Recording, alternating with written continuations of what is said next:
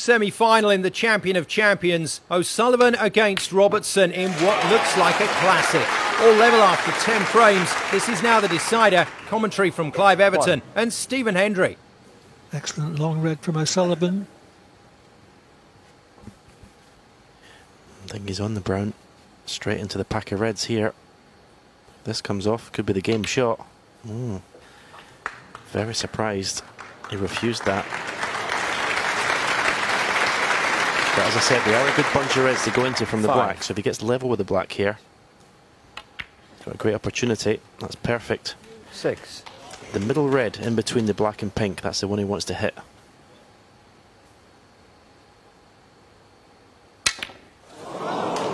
What a time for a miscue. I don't think I've ever seen Ronnie Sullivan miscue.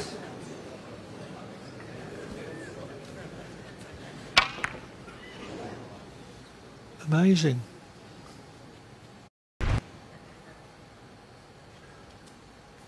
Don't think he's done any great damage to his tip though, and he's been lucky enough to leave everything safe.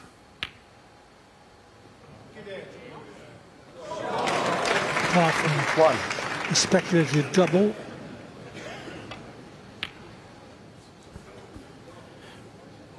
Well, Neil looks bemused. please. The angle must be the angle the red came off the cushion. I don't think he was expecting it to go anywhere near the pocket. He had the snooker anyway. Neil Robertson won.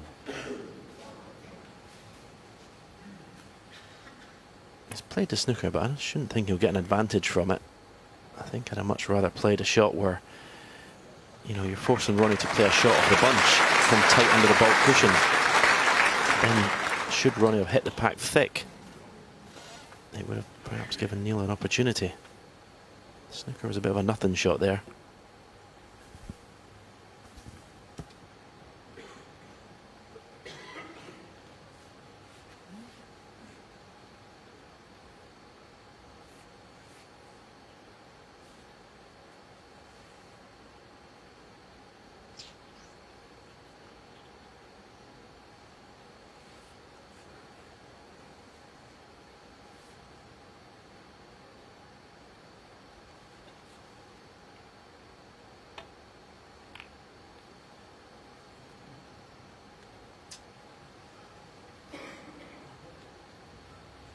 Possible red either to right middle or top right corner.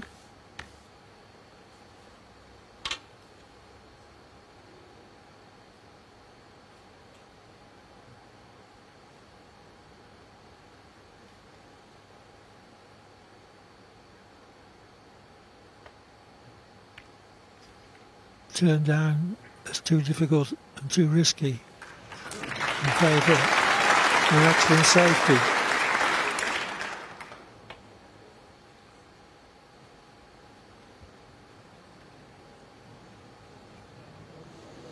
Foul and a miss. Neil Robertson four. Not crucial, but an unnecessary four away.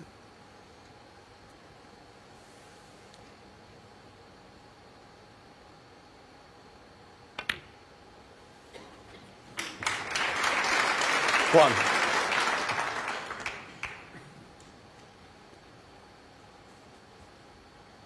Couldn't get plum on a colour.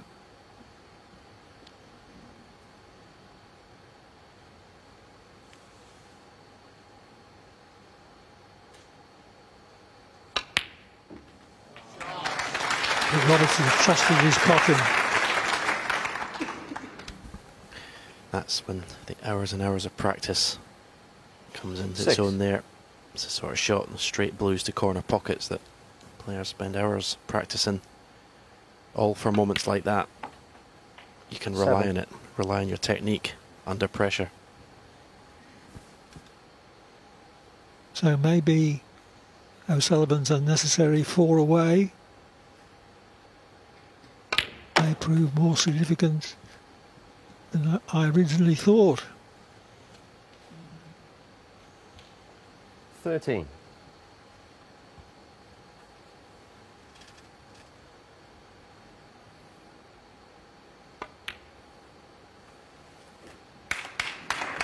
14. Mm, I was just about to say this could be, that red could be the important shot in this frame and match.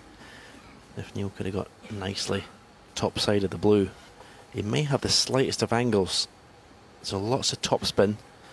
Touch your right hand side off this right cushion and try and release even just a couple of reds just to keep the break going.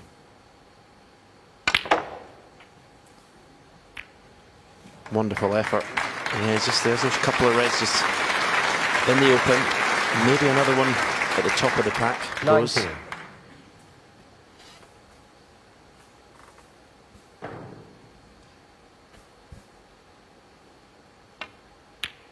Yeah, I think that red is closest to the 20. pink spot. Pots to left middle, possibly right corner as well.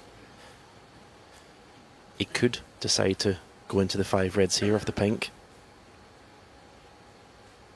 I might be against it myself because I think if you get on that red that's at the top of the bunch, there's every chance you can open the reds. I think this is a risk.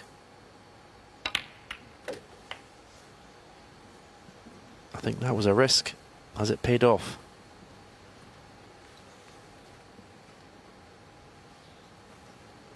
Twenty-six. Well, even if the left-hand red is possible to left corner, it's very tough cueing.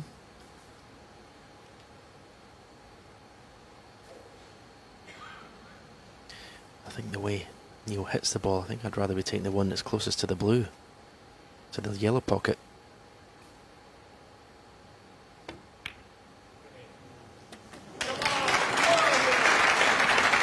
Twenty-seven. Struggled it in. Yeah, nicely on the pink. That could be the winning shot.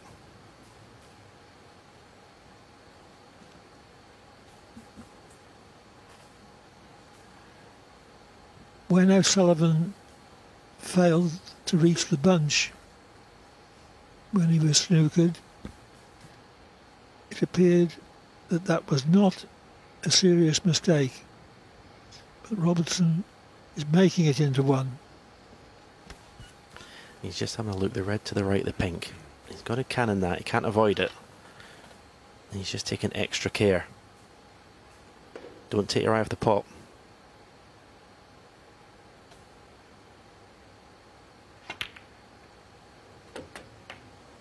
Hmm. Not as played. Thirty-three. So it's red to left middle. You just got to avoid any unwanted cannons on those three colours on the baulk end of the table, yellow, brown and black.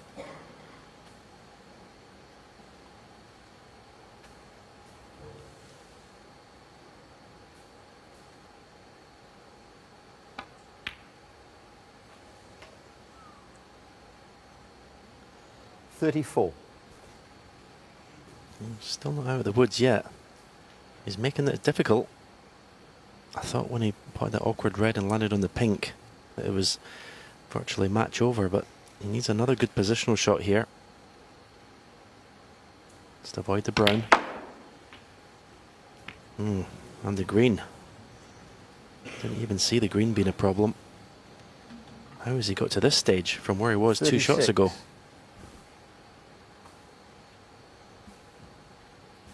Forty-four in front, but far from over the line.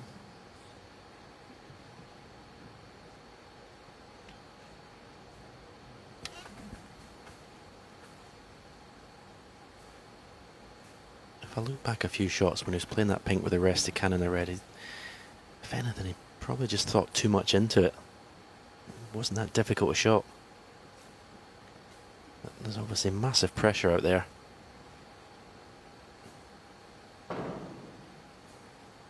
Well, if he's taking this red on, this is.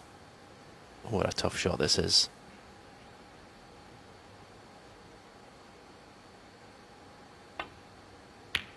That's magnificent. It really is. 47. Under pressure, that was some pot. And again, applauded by his opponent. Ronnie tapped his thigh with his hand with that shot. As a snooker player, you knew how, you know how tough that shot was. Slowly across the table, dropping it in dead weight. One more pot required.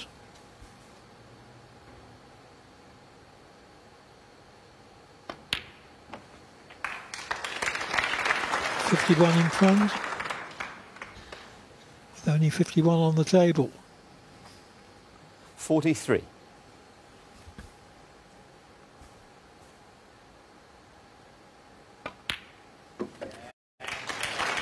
And that red 44. surely seals O'Sullivan's fate. It's been a fine match. Both players played to a very high standard. Robertson's made a couple of centuries, but that was incidental. 50. Yeah, you definitely would have thought when Ronnie went 5 4 up, he'd at least have one good chance to win the match. It didn't, it didn't come. Didn't really get an opportunity to win this match. A good opportunity, anyway. 57. 58. Robertson made a total clearance of 135, 135 to equalise at 5 all. 63. 65. And he's on the way to another big clearance to clinch the victory. 68.